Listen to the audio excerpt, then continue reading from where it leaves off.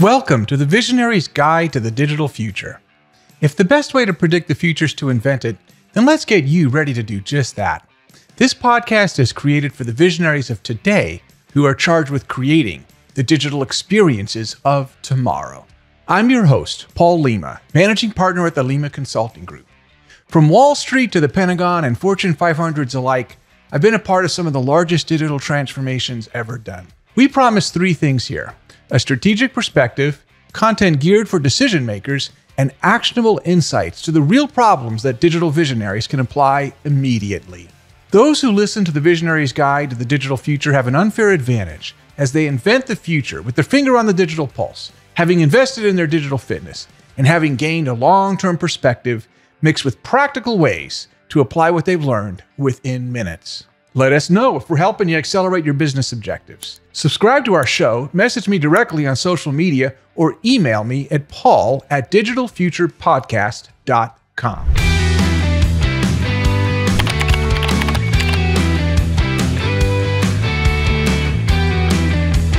This week on the Digital Pulse, we explore why ChatGPT is turning the future of digital experiences upside down. So let's get the vital stats out of the way quickly. The building blocks of ChatGPT is GPT-3, which is the third generation of the generative pre-trained transformer. We'll tell you what that means throughout the episode today. And on the 14th of March, GPT-4 came out. GPT-3 is only one generative model of many. It's a foundational AI-based system that other models can leverage. Other models include DALL-E, Stable Diffusion, Midjourney, and AlphaCode. And these systems power a lot of the technology that your staff and service providers and creatives and writers, and well, anyone who has responsibility to think and create could be and should be using in the future. Remember when you heard the curious word Google for the first time? Well, this is that moment for AI, if you're not familiar with these companies already. ChatGPT is an artificial intelligence program a large language model, or LLM, to be specific, developed by a company called OpenAI. In 2015, five people who each have 100 pound brains founded this nonprofit. They were Elon Musk, Sam Altman, former president of Y Combinator, Greg Brockman, former CEO of Stripe, Ilya Sutskever, a former researcher at Google Brain, and Wojciech Zaremba, another researcher from Google Brain and Facebook's AI research team. While OpenAI has other programs, it introduced the first version of ChatGPT in 2018. OpenAI's ChatGPT released on the 30th of November of 2022, and then they upgraded it on the 15th of December. Within five days, the tool had a million active users, and recent estimates forecast over 100 million active users by the end of January. That's pretty extraordinary. That's the fastest to 100 million yet. It says as much about the socioeconomic factors and the state of global infrastructure as it does about the product itself. So, yeah, adoption was faster than Instagram and Twitter, Facebook, Snapchat, and Amazon Alexa. TikTok took roughly nine months to amass 100 million users. So five days is indeed pretty impressive. ChatGPT is based on GPT-3, the third model of OpenAI's natural language processing project. It's a neural network. Its pre-training ingested the internet as it existed around 2021, at which point the model stopped training. So don't expect current events to pop up out of the output. GPT 3.5 finished training in early 2022. So let's define the G the P, and the T. G is for generative, P is for pre trained, and T is for transformer. So the G, the generative AI, Gen AI, is the part of the artificial intelligence that can generate all kinds of data, including audio, code, images, text, simulations, 3D objects, videos, and so forth. It takes inspiration by using existing data but also generates new and unexpected outputs, breaking new ground in the world of product design, art, poetry, programming, architecture, legal documents, and other creative endeavors, things that we typically associate with those who create intellectual property. So imagine if Chopin were playing music. What it's able to do is listen to that music and have it spit back something that sounds like it was written by, say, one of his students. But Ray Kurzweil demonstrated that on national TV in the early 1960s. And he actually used that very analogy some time ago. So, what does pre trained mean? It's the astonishing part of work that involves the coaching and feeding of a neural network. So let's say that we showed the neural network, let's say 100,000 pictures of a cat. And it places those little dots on the joints and various fixed points, such as the eye, and creates a model of a cat. Feed it the 100th and first thousandth picture, and then ask it, is this a cat? And it spits back a probability that it matches the cat's dynamics and measurements. But if you store your pictures in one of the cloud providers, say like Amazon Photos, you probably already know. You can search your albums for objects. So here's a search I did on my photos for guitars. Sometimes you'll notice it got confused with the violin. T is for transformer. No, not that. Nothing to do with Bumblebee or Optimus Prime. A transformer is an algorithm that evaluates the context of natural language and does things like conjugates verbs and determines the next best action, like what word should come next, or even what syllable should come next. With its pre-training, it knows if probabilistically if there should be a comma after a dependent clause, so it does grammar. It's a thesaurus optimizer. It evaluates like for like phrases and selects the best word choice. And it leverages the learnings over 175 billion parameters making it the largest language model ever trained. And with ChatGPT 4, the inputs increased exponentially, and it's using over 100 trillion parameters. You might be benefiting from a transformer algorithm if you use the editor feature in Microsoft Word, or Outlook, or in Gmail, that little feature that auto suggests phrases. So that might be why Microsoft invested $10 billion in OpenAI and gained a 46% stake ownership of the company which in January was valued at around $29 billion. It's Microsoft's Azure platform that powers OpenAI. The reason for this exponential growth? Well, ChatGPT has unlimited, universally appealing use cases. The bot can write an email response to a friend or colleague, debug and write code, write poetry, dialogue with you about life's problems, and even passed a Wharton MBA operations management exam. And ChatGPT took the following exams and passed them. SAT college entry exams, it scored on the 93rd percentile. Of the bar exam, it scored on the 90th percentile. And it even passed the United States Uniform Medical Licensing Exam. You know, that test that doctors need to pass to become licensed. And it does all of that in 12 languages and offers the ability to translate text among these languages. It conducts sentiment analysis and can do something called part of speech tagging to dissect each word and phrase into their parts. Remember, like those dependent clauses you learned about in high school? So, what do visionaries and senior leaders need to know about it? Well, first of all, it's not new, but it flips the model from indexing to inquiry. Human cognition will shift from focusing on information to focusing on inquiry.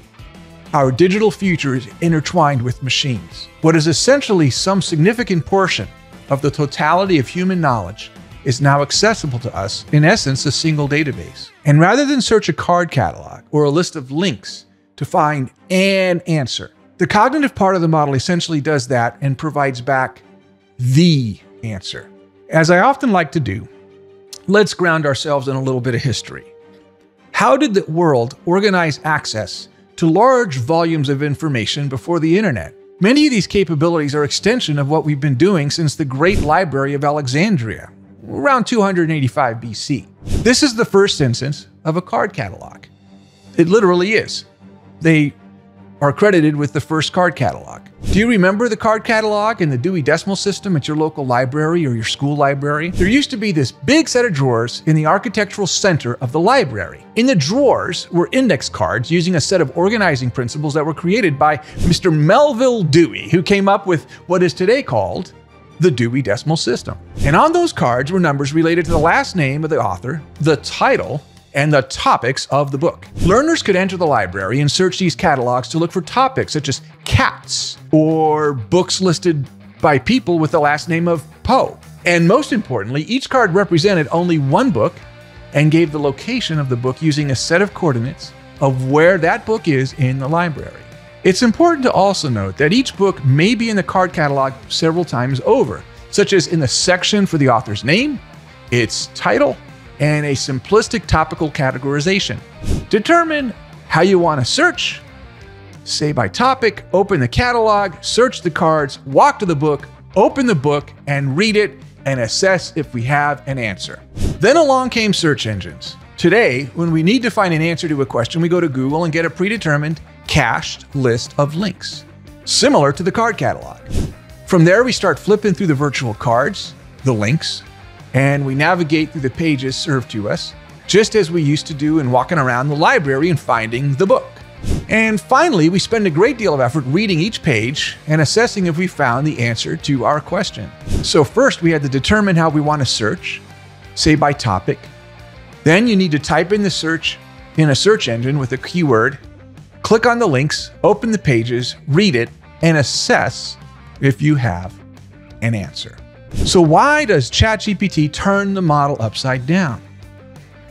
Let me ask a question. Have you ever had one of those really infuriating tests where they give you a question and it's multiple choice and they give you four correct answers and the instructions say, choose the best answer? Well, the best answer, come on, you're testing my ability to make a professional judgment instead of asking for me to recall random facts. Well, that decision making process is called the next best action algorithm.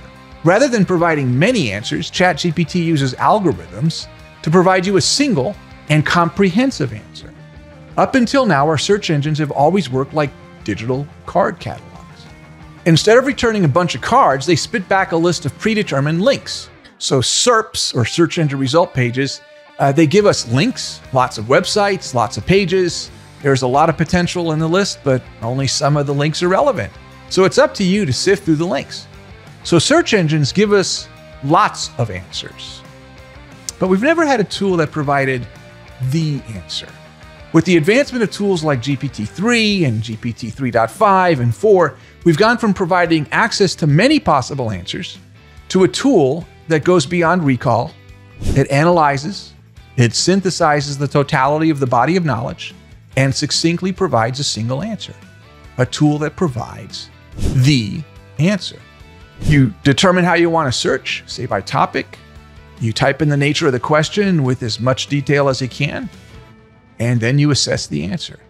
The next level of maturity for search will relegate the concept of presenting users links and make that feel like searching through a card catalog at a library.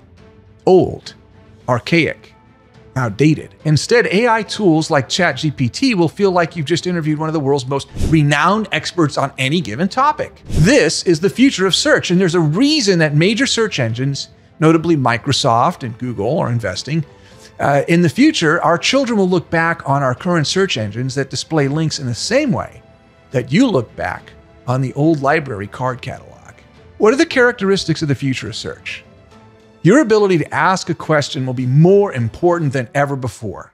That's always been the case. Let's face it, the Socratic method uses that insight and he was using it around 450 BC. The ability to ask the right questions will become more important than ever.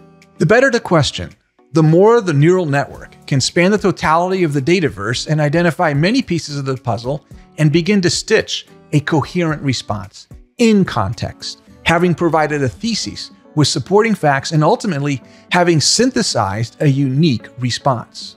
The superpower that educators should be teaching, that innovators should be aspiring to do, that leaders should be inspiring, is to encourage us to ask better questions.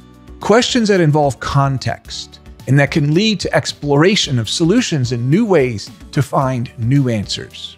For example, using the Socratic method, steer a student to get help with math without giving them the answer.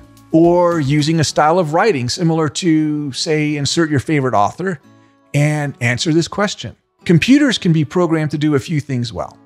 So, what's happening now is that many of these disciplines are being brought together in new ways, and that's changing the way that we engage with the world around us. Consider how the merging of hardware and algorithms was put to the test in one of the world's most complicated games, Go. You've probably heard of Lee Sedol, the gold champion who lost to DeepMind's algorithm called AlphaGo, but this was in 2016. He said that AlphaGo broke lots of conventional wisdom by rapidly extending to the outer layers of the game in ways that expert players consider to be frantic and reckless. Violations of a set of norms that, if used, would signal to more experienced players that you're probably a rookie. But when AlphaGo did those same moves, it accelerated the late phases of the game. And it was surgical and devastating. It was brutal because AlphaGo preserved the economy of force in the game and could close down opponents and cut down options. In other words, human players couldn't process the number of scenarios far enough in advance to avoid stepping into a trap. The degrees of foresight were astonishing and led the world's top Go champion, Lee Sedol, to declare the algorithms will always be ahead of us. I really don't like to think of these tools as adversarial. They're just tools and they're converging, being brought together. Natural language processing, or NLP, is merging with large language models, LLMs, and next best offer and next best action algorithms, and a host of other innovations. It's one thing to experience exponential growth in a given model, such as the 175 billion parameters in ChatGPT. It's another thing entirely to combine innovations across a dozen of these areas and stitch together an experience that begins to approximate sentience, cognition, and even consciousness. You heard about the Google developer who was concerned about that, about the AI developing consciousness. So consider how many algorithms are embedded in each one of these innovations. Murat Durmus, a researcher, just published an interesting book in January, a primer to the 42 most commonly used machine learning algorithms. Within it, he covers these models Notice that ChatGPT 3 is only one of the 42. Remember that innovation doesn't mean the same thing as invention. To invent is to add something new to the body of knowledge. It's to discover, to create. To innovate is to synthesize knowledge, rearrange it, and apply it. It's essentially the difference of creating versus applying. A similar analogy could be said of knowledge and wisdom to know and to do. Essentially, data helps us learn. It's our activation of that knowledge that delivers our desired outcomes. So, where will machine learning capabilities go in the future? What will be the next stage of maturity? Well, I believe that the next phase of maturity will happen when the machine intelligence begins to develop answers and research questions that have yet to be asked by us. Essentially, once it can learn to ask questions. In other words, They'll go to the frontier of our human knowledge and step forward into uncharted territory to provide us with answers to questions we haven't asked yet. Not only will it do as it does today, that is, provide answers, but it will use next best offer and next best action algorithms and point its power towards asking the most important questions. Questions that we may not have thought to ask, or even ways of asking them. How many inventions were discovered by just changing a part or a single word of the question. Or even how many inventions were created that were created because of an accident. Take, for example, just changing one word. How can I mine diamonds? That might have been the question we've asked before, which assumed that we're going to get in the earth and pull them up. Let's change one word. How can I manufacture diamonds? Maybe I can bring in nanotechnology and biological processing, and put them together. And that's possible. Providing context and drawing on similarities and nuances can change the way we frame a problem. It can provide us insights. And as we concentrate, or a word I want you to put in your vocabulary, concenter our body of knowledge, perhaps the chemistry of Incan herbal medicine can help us cure diseases today, say malaria. What other knowledge, ancient or new, can help us address questions where we've never made any connections before. Incan medicine is a great example. It's astonishing. They were the first to use quinine, extracted from tree bark, as a treatment for malaria. In fact, many of the ingredients in the Inca's herbal remedies are found in our modern pills today. So, how will a mathematical approach flip the brute force method of experimenting with thousands of answers and trying each one instead of using computational methods and solving for them to arrive at the answer. When I was in grad school, I had an opportunity to visit one of the largest drug discovery factories in the world. It was a massive, sprawling drug discovery operation and had warehouse after warehouse of hundreds and thousands of test tubes where tiny variations of chemical compounds were dropped into liquid containing the disease, and researchers were using brute force methods to evaluate the impact of each test tube. Why not solve for the single answer using math? We can do that. It's called computational biology. And we're beginning to do that in just about every industry. Pick an industry, and it's likely you can throw the word computational in front of it and find a professional association and a set of conferences that have even been underway for at least a decade. Don't believe me? Let's pick the graphic design industry. Did you know that there's an area called computational creativity? You can attend the International Conference on Computational Creativity in June of this year in Waterloo, Canada. And the inaugural conference began in 2010. The Association for Computational Creativity has a suborganization called the International Conference of Computational Creativity. They publish the Journal of Computational Creativity, and they even have a task force of committees that are addressing the future of their industry and who are establishing governance of standards within it. And in case you want to attend one of their events or chapters, they host conferences across the globe in a city near you. And we could do this exercise for computational finance, computational agriculture, computational physics, and even computational politics. One of tremendous interest to me personally is computational ethics. Computational ethics uses math to balance machine ethics with human ethics. And we've come a long ways from Isaac Asimov's three laws of robotics. And I hope that we can display the principles I've worked so hard to promote around diversity, equity, and inclusion in my personal life in the ways that neural networks currently treat their outputs to better reflect all of us. It turns out if the data that went into these neural networks only featured, say, one race or didn't have representation, there's no equality or justice. It turns out that our social constructs aren't going to be magically fixed by AI. As I speak to student groups, one of the messages I always feel compelled to share is that if the whole tech thing and this data thing isn't your bag, we still need ethicists. Our advances in tech is undoubtedly outpacing our humanity. We have a theme on this podcast and in my career that innovation should be used for good. And while there are forces that well, don't use innovation for good. We're not naive. It's our hope that we can help the change agents of today to leverage innovation for good. Now, we're not trying to boil the ocean, but if we can deploy a grass tip strategy to help other visionaries and change agents to advance innovation in directions that are ethical, that are relevant, we hope that we can collectively use this power to enrich our customers' lives and make living a little better. That means we don't bury our head in the sand when new innovations come around, but we look to see how we can embrace them. And that brings me back to the maddening division that human beings have always displayed since we invented fire. As the Stoics always said when confronted with uncertainty, an invention, a new information, or news, it could be good or it could be bad. Let's consider how educators are responding to ChatGPT. Some educators have the attitude that machine learning is here to stay and that we should begin incorporating it into lesson plans. I have a colleague who's now a professor of leadership at the United States Military Academy. I suppose you could believe West Point at face value, as it claims that it's America's preeminent leadership development institution. So, why would a professor whose primary focus is on teaching leadership alter his syllabus using what he learned in ChatGPT? Haven't they been teaching leadership since 1802? Professors in its Department of Behavioral and Leadership Sciences may be among the world's top experts on the topic. So when one of them admitted that they improved their lesson plan with things that they learned from ChatGPT in assessing his own course syllabus, it was a great example of how teachers are leading by example. That sounds like leadership in my book.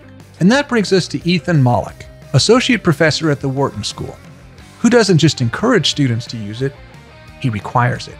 And he even teaches them how to do citations to provide proper academic attribution. But this podcast is about helping visionaries navigate the digital future. So here's my message to you. This isn't the first time that a new innovation has been able to provide knowledge workers with access to information, from the Library of Alexandria to ChatGPT 4. If you're a student of espionage, you know that having access to information that is difficult to obtain can be highly advantageous. So, who should be able to decide who gets to use generative models. Why should a school board or a single professor or a single executive be granted that power to say that we can use it or that we can't? Why should business leaders do the same?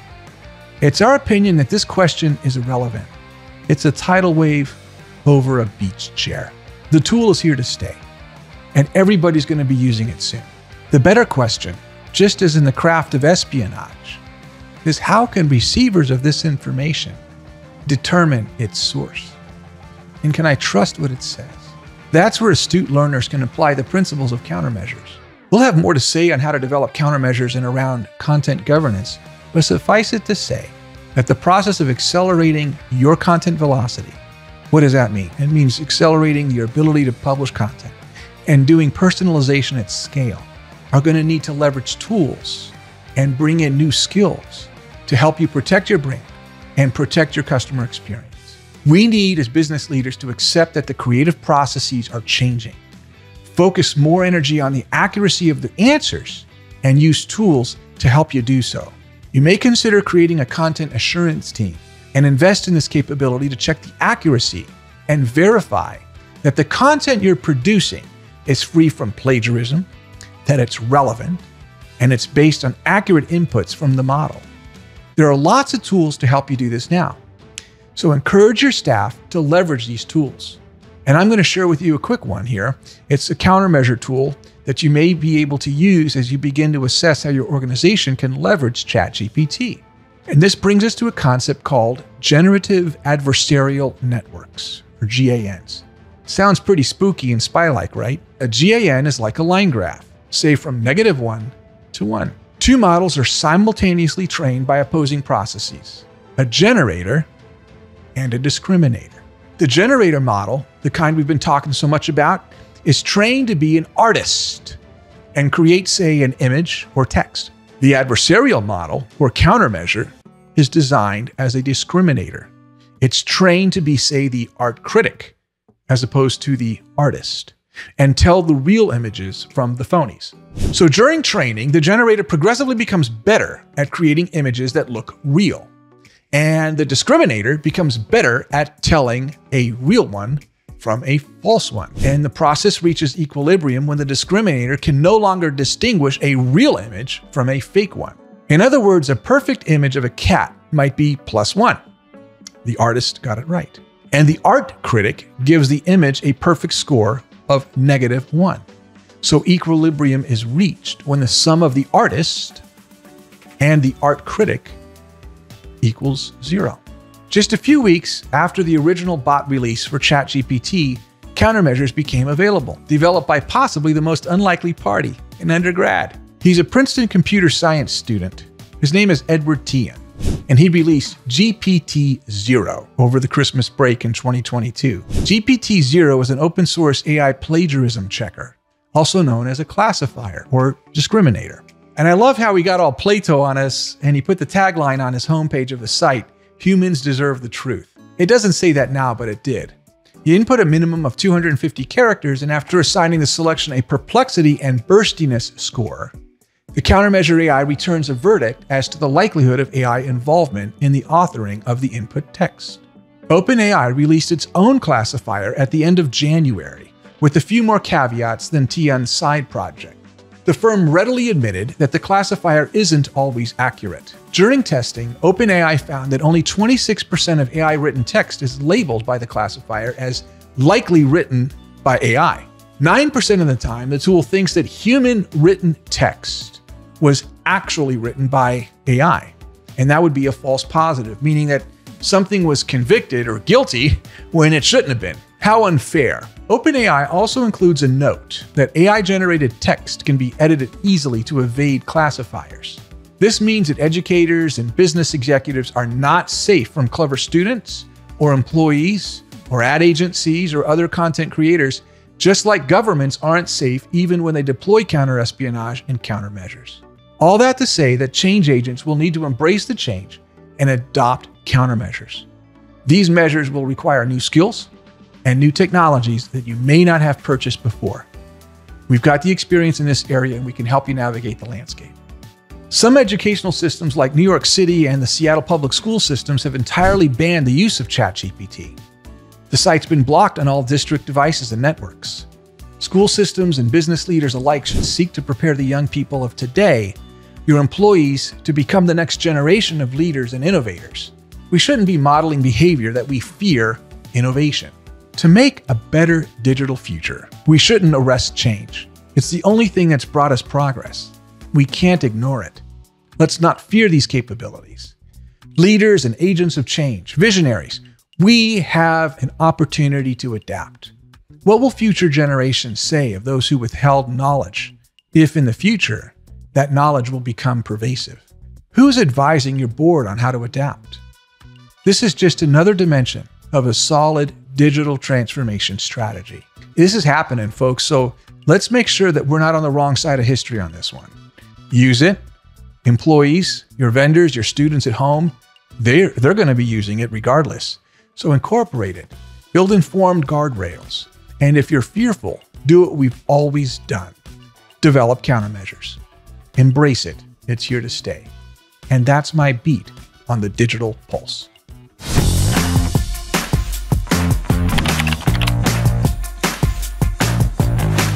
Welcome to the Quick Hit. Let's invest in our digital fitness and get busy with some of my hits from the speaking circuit. The Quick Hit is designed to ground you in an insight that you can immediately apply in creating the digital future. This season is all about data, and in today's Quick Hit, we'll explore the data maturity model. The original models for data have been around since the 60s, but if you stick around, we're going to look beyond what the models can do today, and I'll point out some of the things that we can expect them to do in the future. Digital maturity is a leading indicator of financial success and customer satisfaction for organizations across every industry. So, where is your organization's digital maturity? By the end of this segment, you should be able to self identify. So, let's get started. The five phases of digital maturity represent the progression for how organizations collect data, analyze it, activate it, automate it, and finally, how they optimize it. So, last episode, we learned that oil powered the Industrial Revolution and that data powers the digital revolution. While oil powered machines, data powers decisions. That is, the decision sciences. And there's about a thousand different decision sciences. And as you advance through the continuum of data maturity, the power and potential that your data can deliver increases exponentially. So let's dive into the model. And here's a word of caution. While some of these words may sound a little academic, stick with me because I'm going to walk you through what they mean. And once you internalize what these names mean, you'll see that, hey, they're actually pretty good names. So, what are the stages? Well, here we go descriptive, diagnostic, predictive, prescriptive, and cognitive. At least those are the names that I use in the model here at Lima Consulting Group. So let's dive into the first phase, which is all about descriptions and context. The descriptive phase is the base of your digital foundation. And what is happening here is that your organization is just getting your arms around the data the raw, unprocessed, unrefined data. We spent a lot of time in last episode talking about the value chain of oil, where we took a raw commodity, refined it, and enabled machines to convert that commodity into motion into derivative products and innovation. With oil, the first stage was about extracting deposits of naturally occurring carbon from the earth. With data, this stage is about extracting and recording the observations out of the world around us. And that's actually what data is the recorded observations of the world around us. Well, that's how I define it at least. Raw data is a glimpse into the past at a single point in time. It's collected in a silo, it could be a temperature reading. It could be firmographics, which is the demographics of a company, or the psychographic spectrums about a single person. It could collect observations from within a single department, or Excel file, or database, or line of code. This first phase is simple. We're just collecting it and we're storing it. And that's it. And so is everyone else in the enterprise. And therein lies the problem silos. We're all collecting it and we're collecting some of the interactions, some of the phone calls, some of the social media engagements and posts, some of the analytics for mobile engagement, some of the clicks of our ads, and some of the sales that are made online. Descriptive analytics tells us what happened. And in many cases, these tools are collecting sampled data, meaning enough of the data to be able to project the total, but not all the interactions. Did you know that's how Google Analytics generally works? And members of your ad agency and maybe your finance team may be satisfied to remain here. But monthly reports that track vanity metrics and high level insights are prominent at an organization in this descriptive phase. Over time, in this first stage, the organization begins to drown under the weight of unusable, unstructured, and siloed data. It's too much. It's too messy. It's everywhere.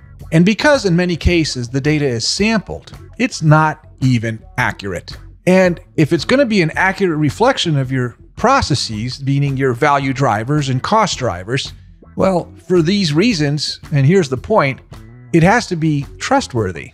If you're a senior executive, you know in situations where data may be untrustworthy that there's risk in making a decision. So it may be better to trust your gut rather than the data.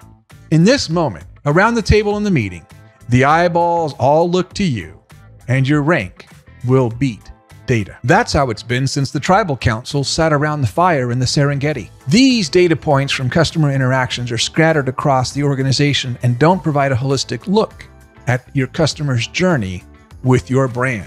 To break through to the next phase of digital maturity, you'll need to focus on verifying, validating, and uniting your data. And for those who make that investment, decision makers can begin to, well, start trusting their data. When leaders don't trust the raw data they have, they hesitate to finance initiatives that make use of it. They don't see data as a tool in decision making.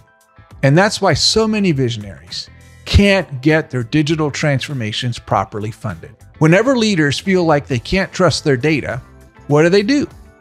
Well, they trust their gut. In this stage of digital maturity, that's why rank beats data. So, how do you know you're exiting this stage? When your organization concenters and concentrates access to data. When the organization funds the first data warehouse, or maybe the data visualization project that you're thinking about, it's powered by accurate data, then you're beginning to exit the descriptive phase. In other words, initiatives that span silos and that begin to provide multi channel visibility over those silos will provide the insights that will generate return. Once the returns are proven out and those stories make their way back to the decision makers, it's a bit easier to fund transformative initiatives. With the power of past customer actions recorded and at your fingertips, your organization graduates to the diagnostic stage. The key concept here is that you begin identifying causality in the aggregate, meaning like at a segment level. I like to say that the causality is attributable in a one to many basis. That is, one cause may have impacted users to do something, but you don't know any linkage between which ad caused which users to act. So one cause will link to many actions. Here, you're able to cross channels and databases and analyze segments of customers across entire customer journeys. The power of organized data can provide insights that can lead your team to analyze customer behaviors, their preferences, and then think of your team's response, say the next best offer or the next best action.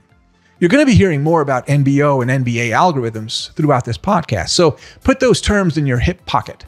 We can then start to talk about NBO and NBA algorithms in the next phase, because in this phase, your teams are coming up with the manual based ideas for specific campaigns for large segments. Maybe you're also beginning to experiment with rules engines to consider personalization at a segment level or a category affinity level. So, for example, if someone clicks on men's clothes or they happen to go into the digital camera section of the website. If it's an e commerce website, they might be a man if they go in the men's section, or they might be a photographer if they go in the digital camera section. If we can make super quick guesses about demographics or preferences, we can instantly create segments and begin invoking personalization and rules based tools. These are first generation approaches, but if you're in this phase of data, it's an appropriate tool.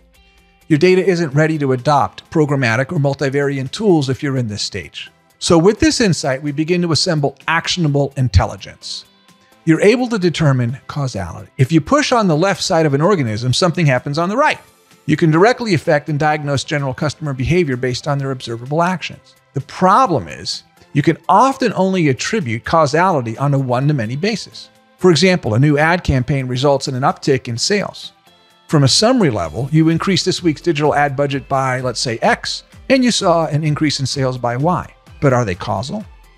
What degree of attribution can you source to the ad? You see, you still don't know which ad specifically motivated customers to make the purchase, or if customers were motivated by the campaign at all. You know there was an uptick in sales, but at the end of the day, you don't know if the ads had a specific impact and that if they were impacting the end-to-end journey of any one actor throughout the uh, the experience. So which ad resulted in order X? You can't do it. You have to tie together at least three IT systems in order to be able to determine that. The pre-click system, say Google AdWords, the post-click systems that you own, say on your website like Adobe Analytics or Google Analytics, and then the post-conversion systems, say your call center or your CRM and ERP systems. So right there, that's five systems in order to get to that degree of insight across the entire customer journey. So in this second stage, data can be accessed in real time. And while it's true that more people across the organization can access it, there's still a lot of infighting and a variety of opinions and perspectives because everybody's coming at the data from the silo in which they live. Salespeople are attributing their proposals and sales skills to the uptick. The ad agency and the marketers are similarly doing the same with their amazing creative. And data is still in summary form and not linked organization wide. And everyone is either claiming victory for the uptick or casting shade for the downtick. Conversations are stuck, making sense of what happened in the past. In this stage, a well organized data structure may trump rank, but answering why is going to elude you. Everyone's opinion tends to be about their contribution to the journey rather than the observable journey across the enterprise that the customer just traveled. So, how do you know you're exiting this stage? You start stitching user profiles across the silos. That means that your ads, your social media posts, your clicks, your phone calls, your chats, your emails, the proposals, the purchase history, the loyalty data, they can all be attributed to a unique individual. And here we're talking about getting down to the PII level or personally identifiable information level.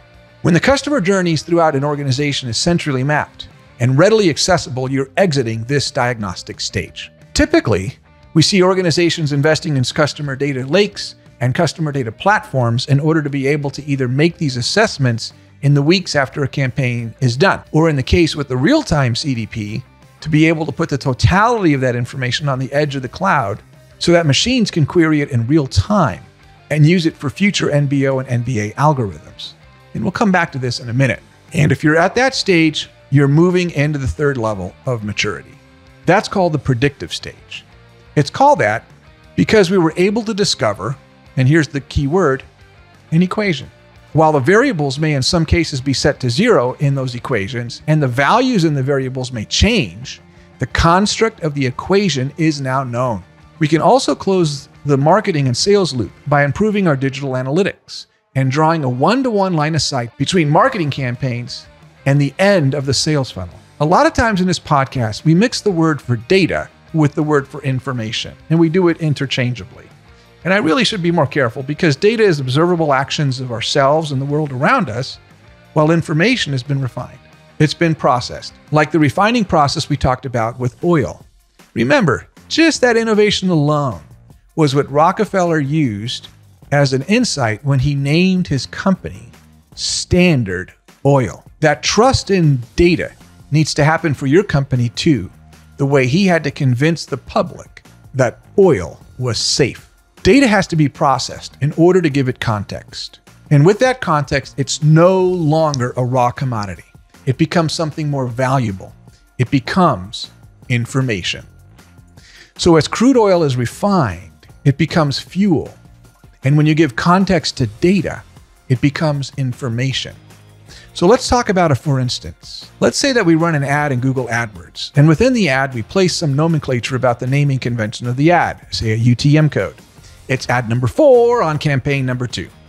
When a user clicks on the ad, we can capture a unique session ID in Adobe Analytics using something called the Marketing Cloud ID. From there, we can use another tool to place individualized phone numbers on the website. So when they call, we can join or stitch a cookie ID or a marketing cloud ID to a specific instance of a phone call. And that's how we cross digital channels to a call center. From there, the call center agent speaks with the caller, and they may hand off the user eventually to a salesperson. At least that would be typical in a B2B example. And that quote might be stored in, say, a CRM system. And eventually the quote becomes an order and then cash. So the lead to quote and order to cash processes in your ERP systems are going to be in play. True, the cookie is dead.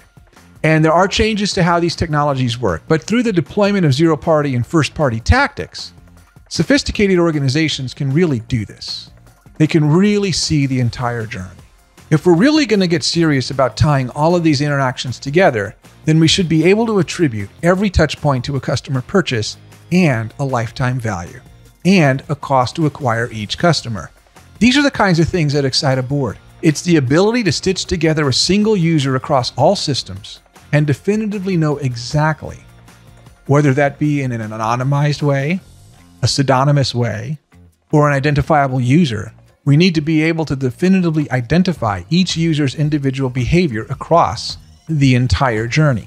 This kind of data doesn't just help us evaluate the past, it can help us see what's to come. With real access to quality information, we can begin to predict future behavior to a degree of statistical certainty. And this brings me to the point about census versus sampled data. Sample data is used in tools like Google Analytics, where they take statistical subsets to save money about what users are doing. That way, they don't have to record and track and store every interaction. Tools like Adobe Analytics collect census data meaning every single action of every single user is recorded. To be able to effectively leave this stage of data maturity, you will probably need to use tools that are census collection tools. There are some exceptions to this, but they're rare. And to advance to the fifth stage of data maturity, there really are no exceptions. You're going to need census data. By creating and actioning on specific customer segments and lookalike models, we can run experiments in the marketing lab to directly track how marketing assets can affect a specific group of customers. We can attribute every engagement to an outcome, every marketing action to a sale or other call to action. And ROI can be calculated with any given start and end point in the funnel. So maybe you just want to evaluate the effectiveness of, say, your graphic designers or your writers. Or maybe you have two ad agencies and you want to compare the impact and effectiveness of each one. That is how you do it. So, in this stage, the thing you as a leader should be trained to be looking for and to celebrate in your teams are the equations. Great digital leaders stop meetings when these anecdotes are being shared and they train their staff to push themselves to find the equation. Get the equation out of your team. So, for example, this keyword yielded an X percent conversion rate on this particular product for these particular segments of users, maybe on these particular day parts, right? Hey, that's an equation. And data powers equations. That's what we're after. So, as a leader, look for them and push the team to document them and celebrate them. How do you know you're exiting the predictive stage? But once you begin collecting equations. That area of analytics is called advanced analytics. And that's the math part. And with that, data science methods can begin to use automation in either a rules based way or in a programmatic way. What's the difference? When you set up rules, a human being needs to figure out the equation. And a human being also needs to determine the next best action and program those actions into something like a personalization engine. So, say, let's talk financial services. If the credit score is lower than 590, then promote the credit builder product that the bank may be wanting to promote. If the score is higher, then promote the credit defender offering. And then have your teams build the creative assets and upload those offerings into the personalization engine. That's how rules based tools work. Your team would determine the score, they would input that number, and they would determine all the creative assets. So tools like HubSpot, Maximizer, Marketo, Adobe Target, Optimizely, those tools would work. And those tools span many categories of software from marketing automation to ad buying and e commerce engines. It's just a feature in these types of platforms. Rules based capabilities manifest in these platforms with features like A B testing, recommendation engines, and email campaign sequences. But both the equation and the assets are discovered and manually entered by your staff. But over time, applying an equation that Markowitz won a Nobel Prize for called Modern Portfolio Theory, MPT, we learned how to advance and let the machines determine the equations, and eventually even recommend the creative assets. This is what we refer to as programmatic. In programmatic, you let the machine help you determine the rules for how to do the automation. That's what programmatic means. The next best action for a given customer profile or customer segment can also be generated, and it can be all done in milliseconds, 30 milliseconds to be precise. If you're buying programmatic solutions, ask about that. Because if it's not done in 30 milliseconds, it can negatively affect the user experience. Page load times need to render at the most in three seconds. So that means you only get 10% of that time to determine the page rendering. The other 90% is in the return route from your servers back to the end customer's device. So in that 30 milliseconds, that's what has to happen up on the cloud computing. That's why you can't use tools like Microsoft SQL databases to do this. In the fourth stage, the predictive stage, we found equations for customer success. And what can we do with equations? In the prescriptive phase, we automate them. We automate the equations. We can prescribe math the way a doctor prescribes a medicine. Once the diagnosis conforms to statistically significant thresholds, we ought to know what to do. It's here where we leverage the power of math. It comes masked in lots of fancy buzzwords, but it's just math, all of it. It's logic, it's systems engineering, and math. I'll give you a little sampling of the tasty goodies you're going to be able to use once you break into this degree of maturity personalization engines, programmatic ad buying, marketing automation, propensity modeling, lookalike segments, lead scoring, A B testing, multivariate testing, and robotic process automation.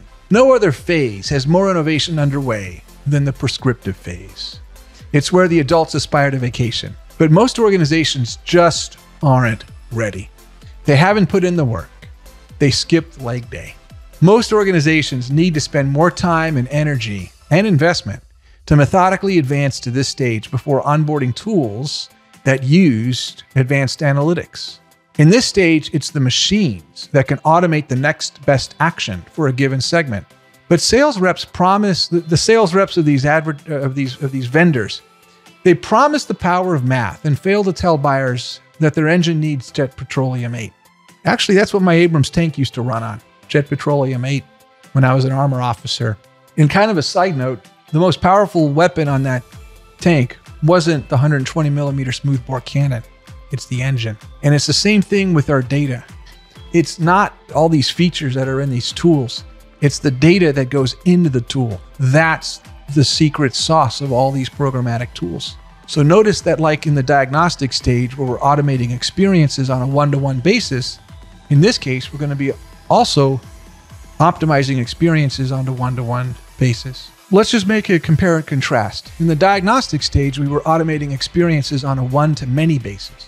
For example, the bluegrass baby boomers customer segment. Maybe we'll send them the economy 4th of July vacation package. And our coastal CrossFit career woman will send her the luxury 24 hour mountain getaway. So that's relevant, right? But the problem is that once you reach this stage, your content creation needs are going to explode. They're going to accelerate the demands of your team to provide creative assets. And we measure the army of content creators in your organization and your content partners by their content velocity. And it's going to break. The wheels are going to break the axles and they're going to come off the bus. You've got to create a high volume of compelling offers to fill the prescriptions for a growing number of detail customer segments. You know that you're exiting the prescriptive phase when over 50% of your touchpoints are being influenced or that they're participating in programmatic tools or prescriptive initiatives. You need to provide the entire customer data set end to end so that it's accessible for the algorithms. That doesn't mean a customer data lake built in tools like SQL.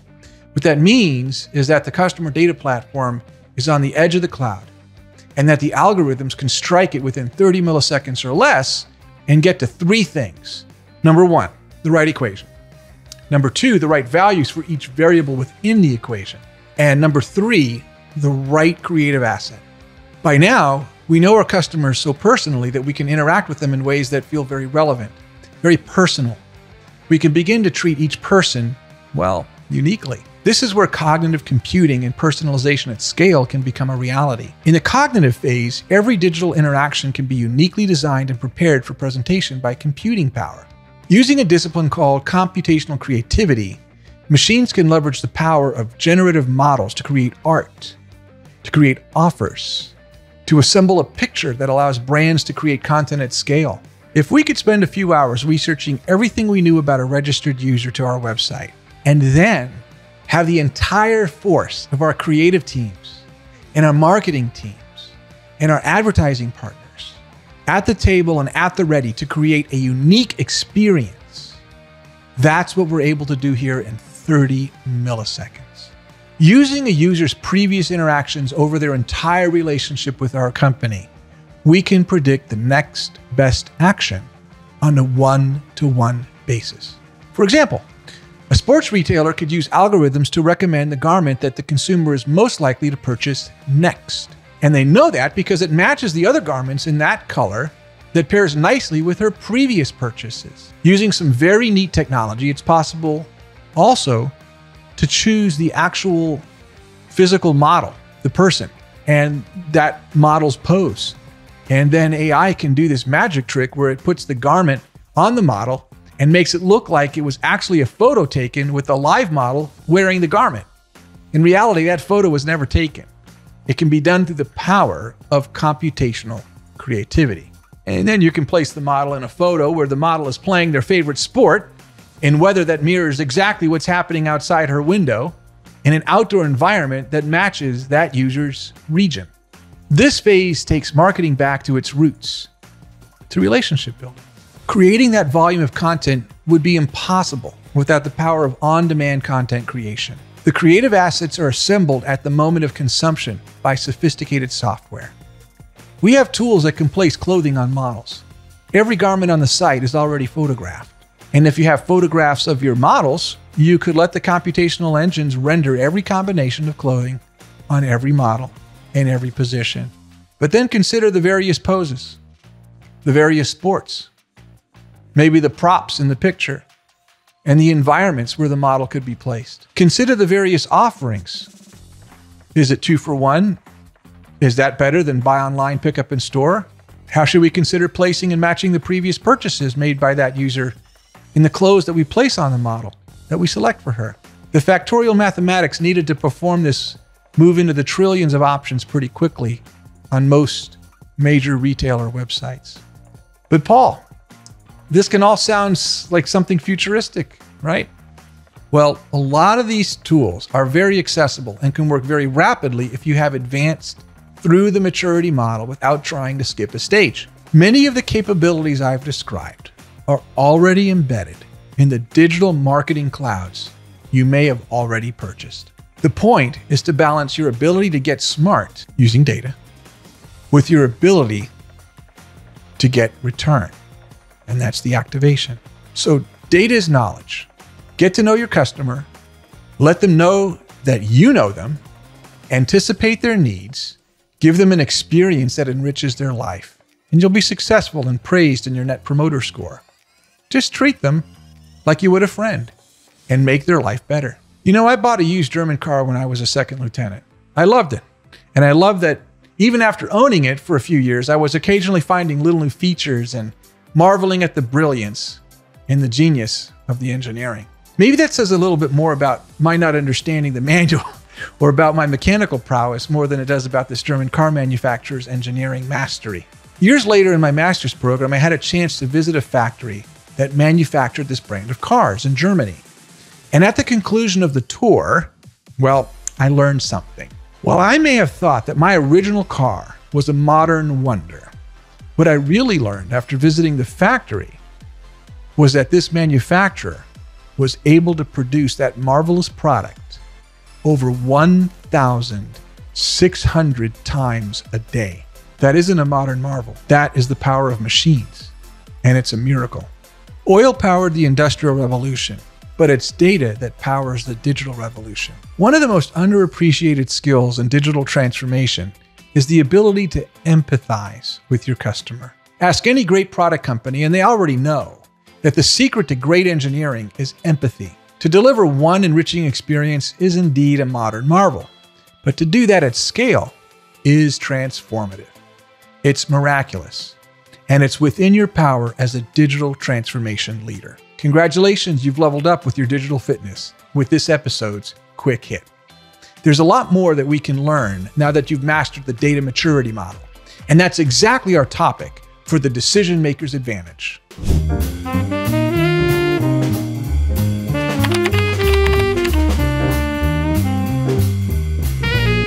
Welcome back to the Decision Maker's Advantage, our segment of the show where we reveal the unlocks that will augment your professional judgment and help you accelerate your corporate business objectives and personal career trajectory. In the quick hit, we talked about the five phases of digital maturity. The digital maturity of your organization is important when it comes to efficiently executing internal initiatives. But the real miracle happens when conversations and actions shift to advancing the customer experience at scale. How does a customer think, feel, and act when interfacing with an organization in each phase of the digital maturity lifecycle in their customer journey? What kinds of conversations can an organization have with the customer at scale? How do those engagements change as your organization invests in its digital fitness through the five phases of data readiness? Well, today let's go on a quick journey through the evolution of digital maturity. So, today, what I want to do is give you a real life example of a specific company and their own maturation of digital maturity. And that way we can make some of these academic terms a little bit more real. So, over the years, people have told me that some of these models might be a little bit hard for them to understand and to put into context. And so, what I tried to do is provide some actual events that are characterizations of what I would call like a composite character of actual customers that I've served over the years. So these events aren't made up. This is a composite sketch of scenes that I've encountered rolled into a storyline that might make these models relatable for you. So let's talk about a fictitious company called TechX. TechX is a large enterprise, high tech firm based out of New Jersey. Their solutions include both software and physical products and both can be implemented across a wide variety of organizations and industries. And in many industries, they have derivative products based off of their flagship line. It has positive earnings and a management team that are expert in technology, but only the technology they manufacture. And TechX prides itself on keeping a pulse on its customer needs and the market at large to understand new trends. They also believe they're pretty digitally advanced. And how couldn't they be? They're a high tech company who employ a lot of smart engineers a marketing team who are super knowledgeable about their products, and sales veterans who've been in the industry for over 20 years. So, next, I want to introduce you to one of TechX's potential customers. We'll call her Jane. Jane's company is headquartered in Seattle, but she happens to live and work in Miami. She manages a regional office outside of Miami, Florida for a company that is a perfect fit for tech X offerings. Her office is on the hunt for a solution like the one TechX sells. She became acquainted with the company at a regional trade show. She talked to a very informative member of the TechX team. And even though the conference was in Miami, where Jane lives, the TechX rep who greeted her lives in Boston. You see, the marketing department was short staffed and found a few other sales reps on the East Coast to assist the marketing department at the booth. The sales rep scanned Jane's badge and gave Jane a glitzy brochure, some product samples, and information to help Jane's estimate of the costs so that Jane could begin to start budgeting for the solution. The case studies in the packet were short, but they were for Jane's industry, and they demonstrated that TechX had experience in helping other customers like hers with her pain. So Jane agreed to receive a call to schedule a demo while at the trade show. So now let's go back to TechX. Let's take a walk up to the marketing department. They have a small team that manages events, an event marketing team. And they use this cool app that helps orchestrate events and even has this tidy kiosk at those iPads in the booth. But um, the trade show company used a different app and provided the scanners to scan the badges of participants who stopped by the booth. So the event marketing team got back from the trade show and asked all the sales reps about how the trade show went and if there were any leads. They also wrote the event organizers and asked for the list of names of the people who stopped by the booth, which they sent. Only problem was it went to the only email address on file, which was to TechX Accounts Payable Department. The sales team from the event organizer only happened to record the email for who to send the invoice to in their CRM system. So the event marketing staff at TechX was frantically asking the event organizer for the file. And after three attempts, they finally got it but two weeks after the trade show. And what they sent was a pipe delimited CSV file. But the event marketing team had never seen a pipe delimited CSV file, and they didn't know how to open it. The furthest that file got in Jane's customer journey was to a folder located eight levels deep in the file hierarchy of TechX's SharePoint Enterprise Contents Management System. The glorified shared drive just isn't unlocking the power of data for TechX. But for the VP of Marketing who prioritized brand awareness, the fact that the event was held was the desired outcome. And the VP of Sales, well, her focus is on the late stage pipeline and close ratio of each rep. And then we come to the sales rep from Boston. She doesn't view Jane's business card as data. She put it in her computer bag and there it went to die. If only she had entered that into CRM, things could have been different. And the event marketing team doesn't consider KPIs related to the ROI from the event. They are incented on activity, on the number of events they hold, not the closed deals attributed to them. So there's no concentration or concentering of the people at the accounts they are serving.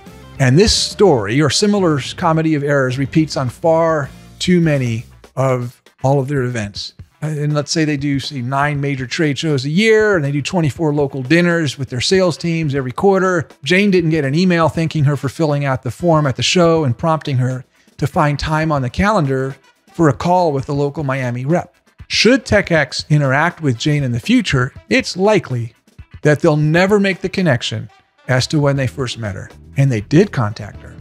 See, a recent college grad was hired in a new sales development representative role and got Jane's contact information out of an industry database tool like Seamless AI or ZoomInfo. He sent her an email about the next trade show coming up in Seattle, and attached to the email was a link to explain who TechX is, but ZoomInfo had her company listed in the wrong industry. He also assumed that Jane lived near her company's corporate headquarters.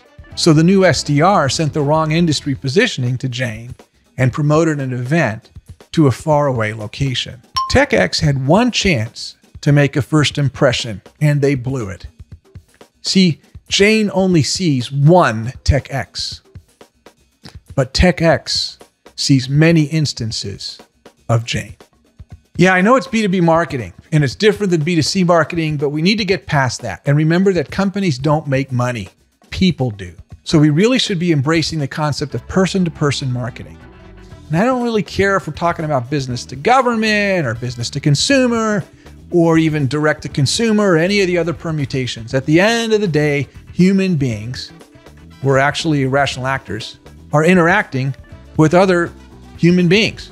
We have faulty memories, we have imperfect information, and we respond to relationships, to relevant information and to the people and brands who have our back. Relationships start with showing others that they can trust us. And we do that by demonstrating that we know you and that we understand your pain and that we can add value. It's a pretty simple equation, actually. And experienced digital leaders build their multi year plans using those three points in their digital transformation roadmaps.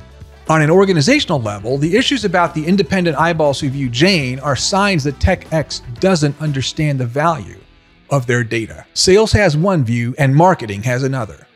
TechX can't determine the return on its investment of their trade show investment by tracking each deal that was either attributed to or influenced by their trade show sponsorship and participation.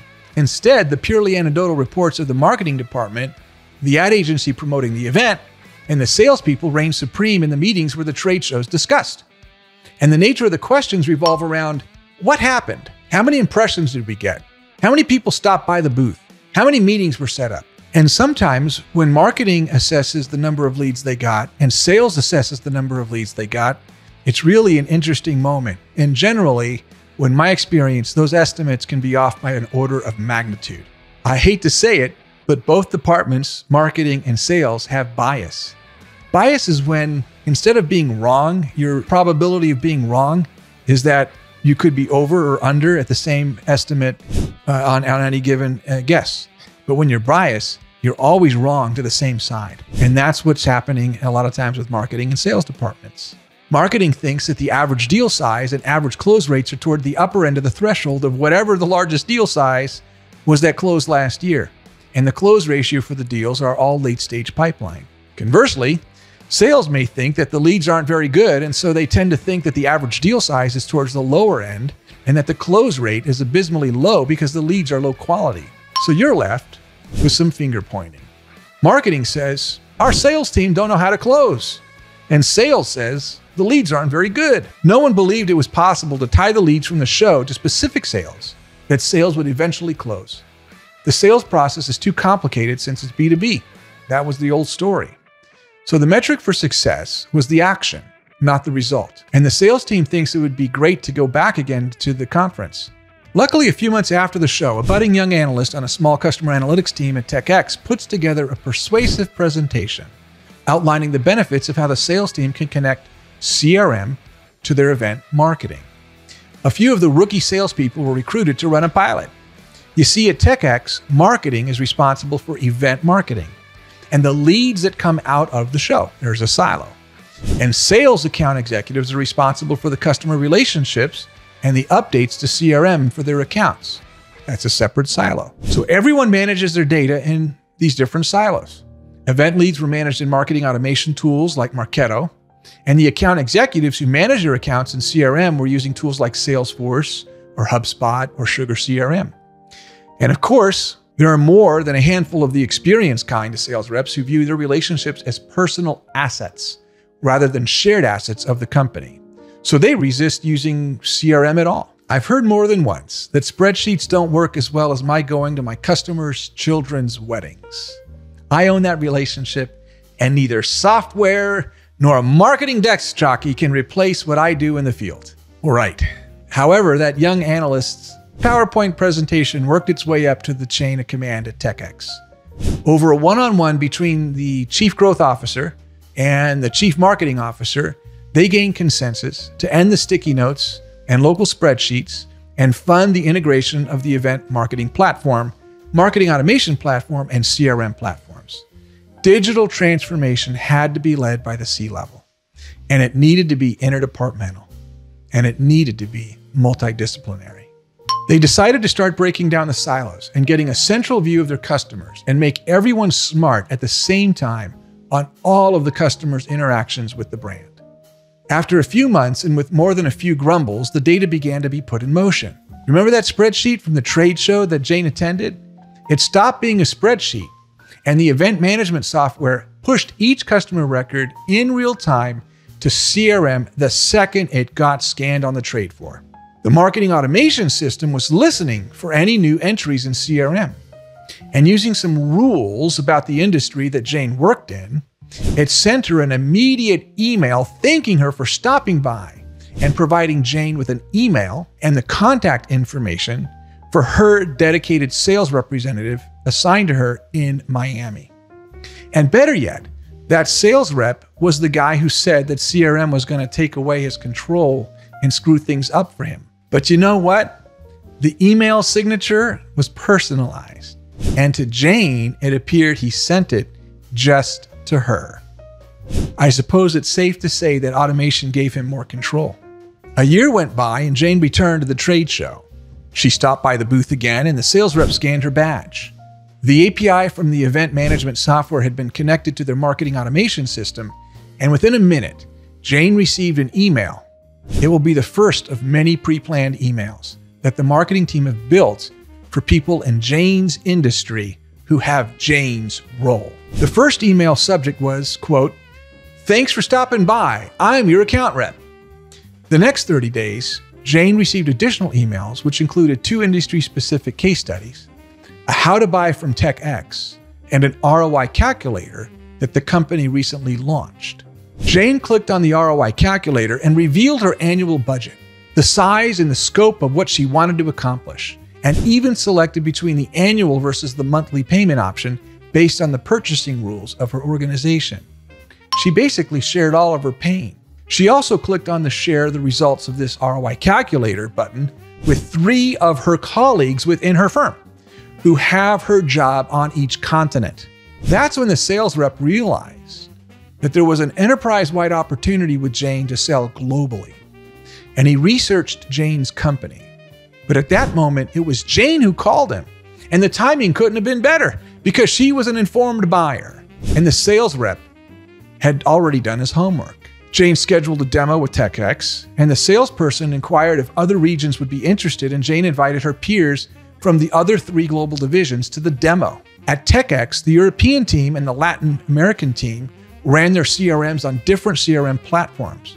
But since the rollout of the customer data lake, all of the data went to a central repository, and the differences were then pushed to all like systems. So everyone had a view of all the contacts and the company records, no matter which CRM system they used. So the sales rep was able to connect the contact records of all of Jane's peers to the same company.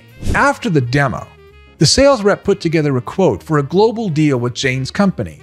And since CRM and the marketing automation tools are integrated, marketing was able to attribute the source of the deal as the trade show. And consequently, they were able to demonstrate their direct contribution that marketing was making to sales. A new KPI marketing's contribution to sales. With a full 360 degree view of each company and the associated contact records within uh, each individual at that company, the team looked into the concept of establishing lead scoring. But because the sales staff at TechX is relatively small, the marketing team wanted to make sure that the leads they pushed to the sales team were highly qualified. So they did a workshop and defined the difference between a marketing qualified lead, a sales accepted lead, and a sales qualified lead. The lead score consisted of a weighted score, and it accommodated the dimensions of one, the firmographics of the prospect, two, the demographics about the contact at the company who was filling out the form, and three, the behavioral score of how the contact is engaged with our brand. So that way, a smaller company with a highly engaged person who has authority to purchase might be a good fit for our sales team. And of course, our sales folks always want to know about larger companies too, even if the engagement may not be as high or the original contact may not have had authority to purchase.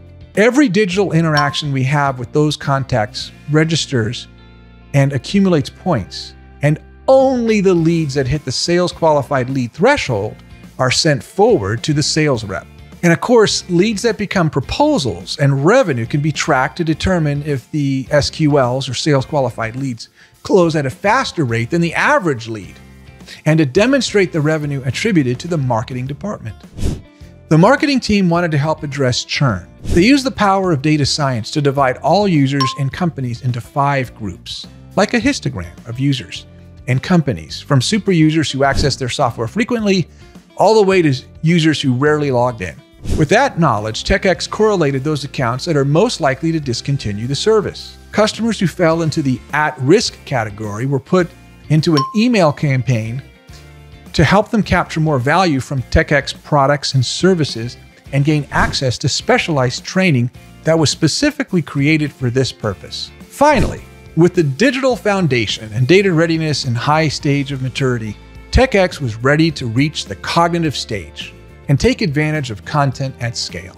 One of the deliverables of the campaign was that this new infographic tool took the top facts about each account and created custom infographics for each account based on the value that each customer company is realizing from the TechX solution. The graphics included the types of KPIs that align to the reason that the customer bought the software in the first place and were different for each customer contained different images for each customer relative to their industry, and contained a look and feel that represented the industry of that customer. There's no way the graphics design team at TechX could have possibly made such personalized and industry specific and company specific infographics for thousands of customers. Now that algorithm is always on. And if at any time the thresholds are met for a company that enters into the last quintile, they automatically are entered into the sequence to receive the infographic. And those accounts that were entered into the churn prevention campaign were retained 35% more than before. Lastly, they enabled a chatbot that steers users to the FAQs to answer questions and reduce the strain on the call center. The chatbot was extremely effective at reducing frivolous calls and the types of things that you can handle with an automated system. So when customers do call, the call center and our salespeople can understand better how to help, and the nature of those calls are higher value. Of course, all of this story relies on users being willing to access TechX's digital properties. And when they do, they need to log in. Everything about this story is possible today and is compliant with the regulations for data protection and privacy.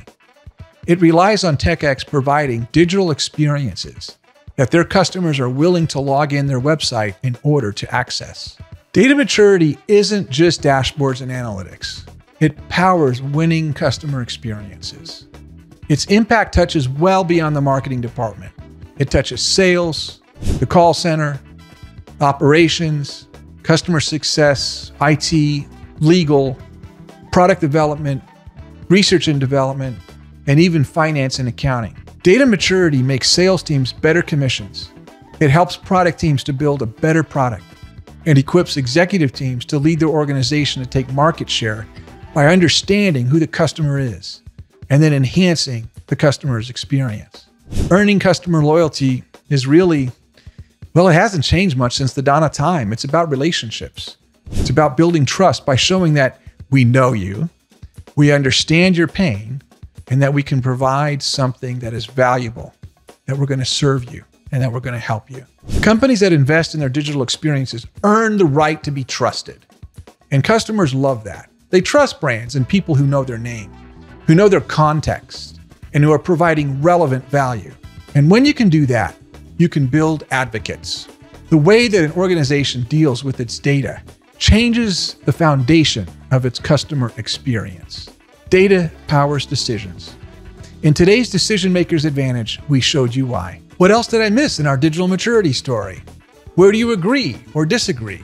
I'd love to engage with you about your perspective. Stay tuned to the Visionary's Guide to the Digital Future, where we explore all of that and more. In the meantime, share the graphic below and join in on the conversation to weigh in on your opinion about what senior executives need to know about how to unlock the value of their data. Please share your feedback with us on social media and follow us on YouTube, Twitter, LinkedIn, Facebook, and wherever you get your podcasts. I'm Paul Lima, host of the Visionary's Guide to the Digital Future. I'll see you in the digital future.